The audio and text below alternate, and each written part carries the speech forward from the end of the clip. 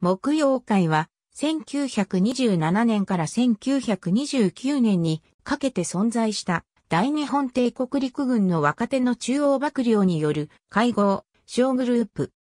少数の陸軍幕僚が内々に集まり、陸軍の装備や国防の指針など軍事に関わる様々な問題を研究し、議論、検討することを目的とした少人数の集団、研究団体。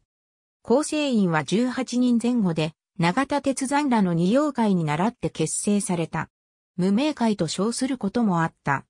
背広を着た軍人と言われた鈴木定一木曜会は1927年11月頃参謀本部作戦会員の鈴木定一と要塞会員の深山亀三郎が中心となり、鈴木、宮山をはじめとする日本陸軍中央の少数幕僚グループによって組織された。構成員は総勢18名ほどであり、幹事役の鈴木のほか、石原幹事、村上慶作、根本博士、土橋雄一、深山亀三郎ら陸軍士官学校21期から24期にかけての卒業生を中心としていた。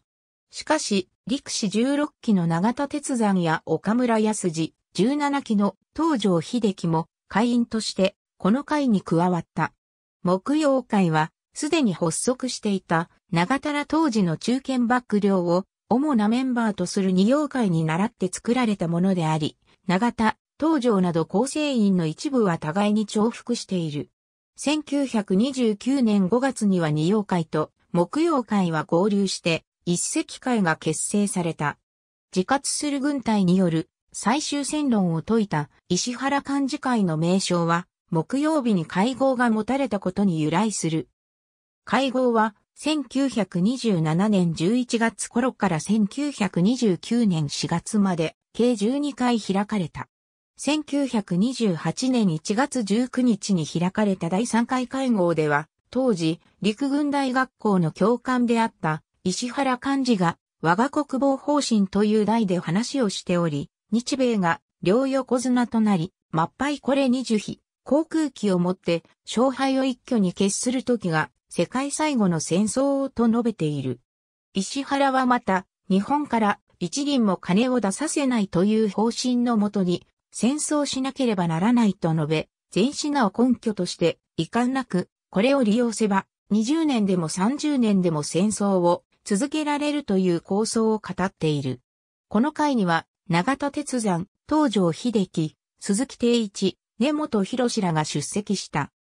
同年の3月1日には、東京球団に所在する陸軍商工クラブ開校舎において第5回の会合が開かれており、東条秀樹、鈴木定一、根本博士ら9名が参加した。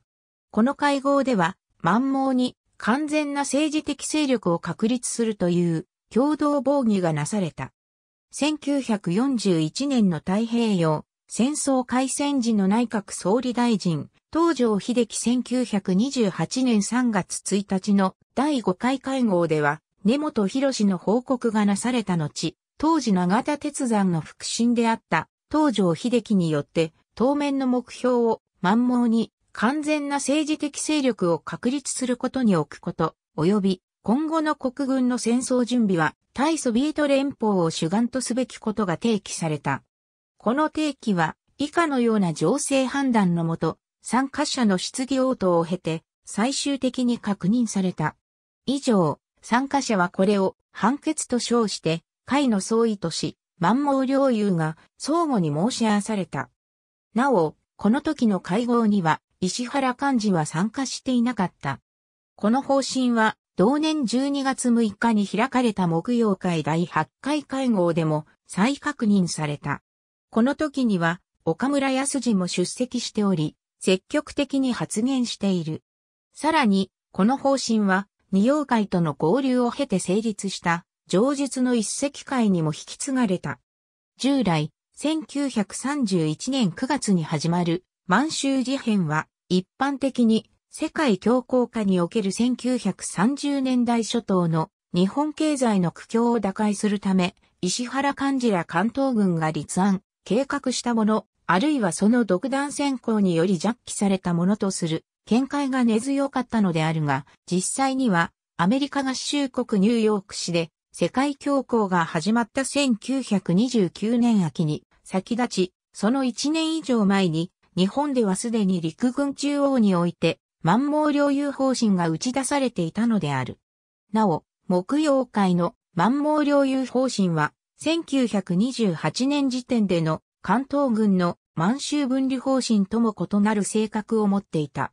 関東軍の方針は日本の実権掌握下における新政権の樹立を起としていたが、それは中華民国の主権が存続することを前提としたもので、鉄道問題や小祖権問題など従前からの外交試合解決を主な動機としていた。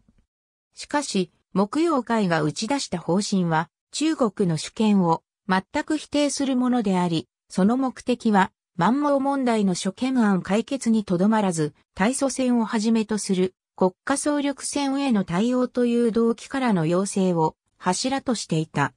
また、同じ頃、参謀本部第一部も満蒙における帝国の政治的権力の確立を主張しているが、これは木曜会の満蒙領有方針とほぼ同内容のものであった。